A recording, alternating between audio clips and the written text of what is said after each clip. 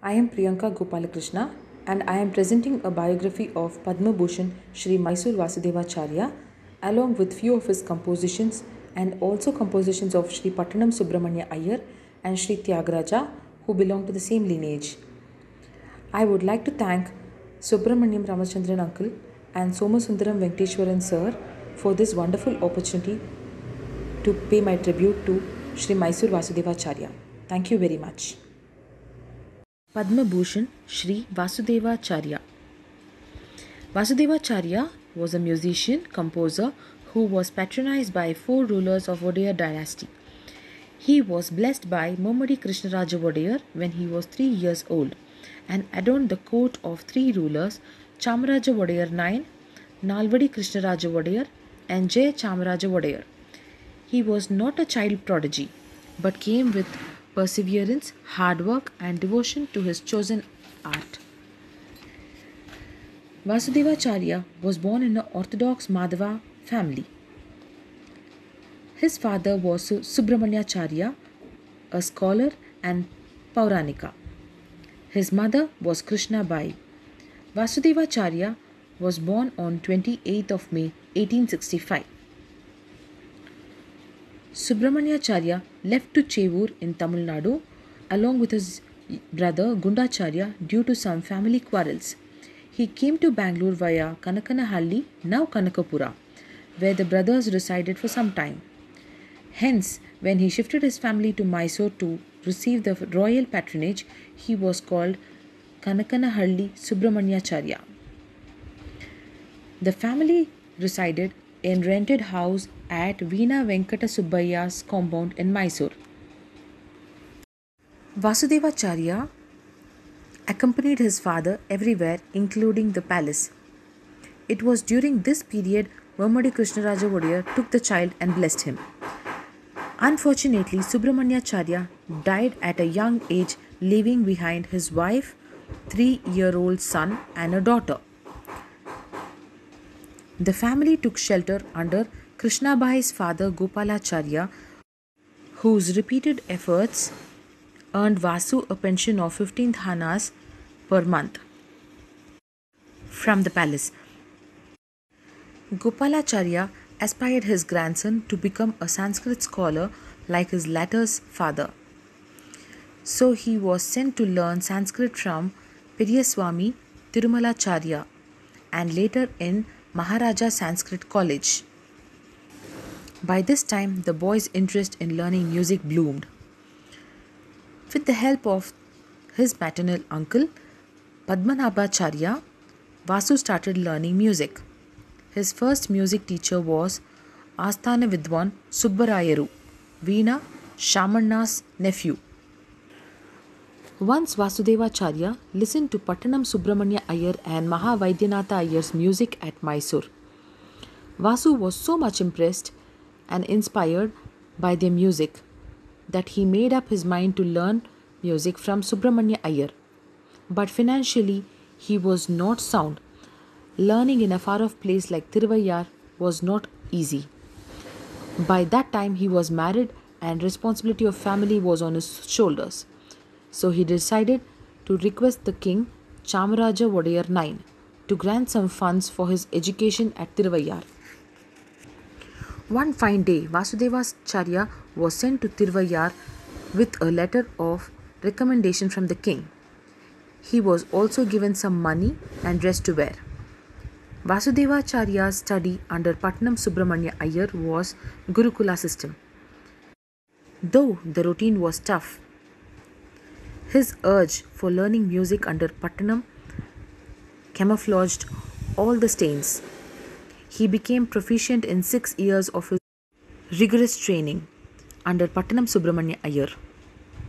During his stay, Vasu was exposed to his master's composing techniques.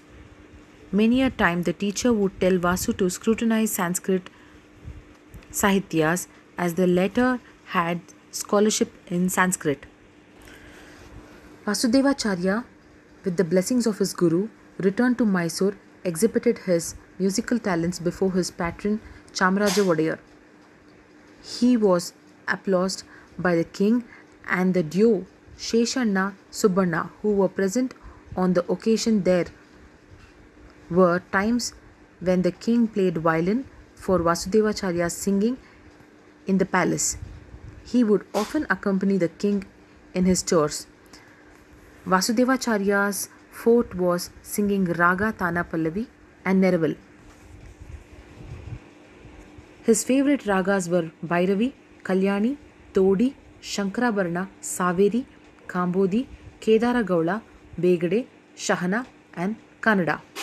He loved to sing Ramabana of Tyagaraja, Dikshitar's Chintaya Mam Kandamula Kandam, and Intakanta Kavalena of Pattanam Subramanya Iyer in all his concerts. Sami Ninne Kori in Shankarabharana, Parimala Rangapate in Kamboji. Vasudevachar's maiden concert was in 1908 at Sadvidya Patashala, Mysore. Seshanna, who was present on that occasion, appreciating his music, honored him with a gold bracelet. He not only performed in Mysore and other South Indian palaces but also in North India.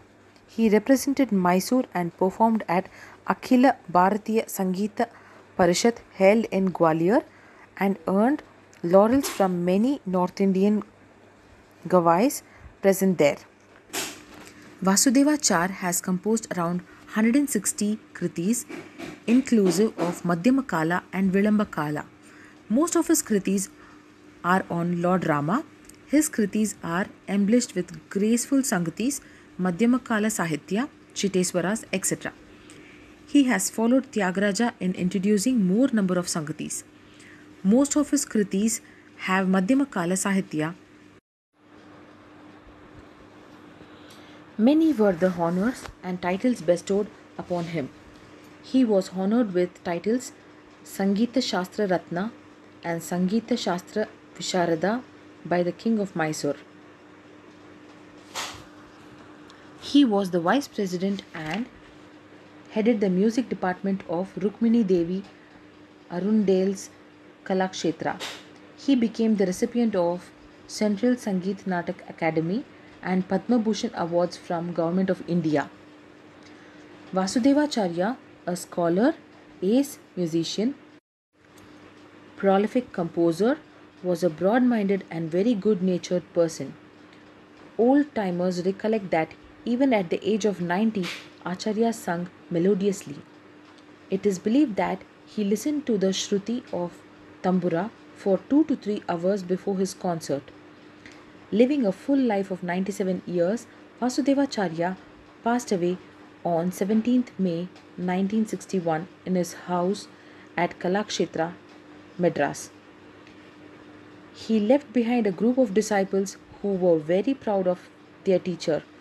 His teaching and also good nature, some of his prominent disciples are N. Chennakeshavaya, H. Yoga Narasimhan, B. K. Padmanabha Rao, Veena Shivaramaya, D. Pashupati, his grandchildren, S. Krishnamurti and S. Rajaram, Nagendra Rao, drama, and many more. Yeah.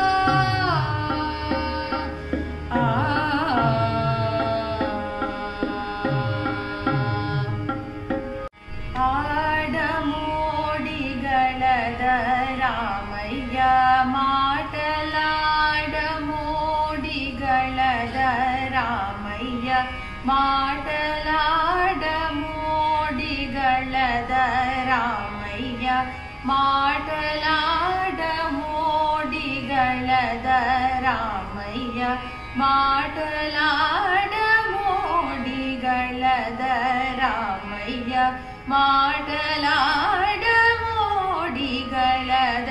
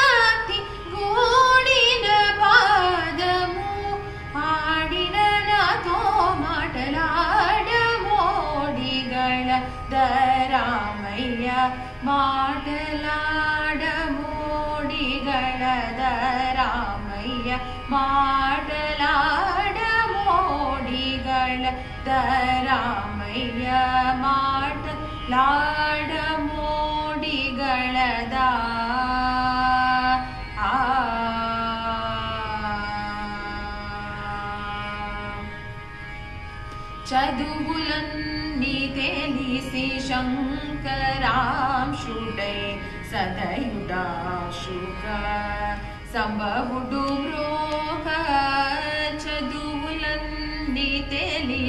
शङ्करां शु डय सदयुडा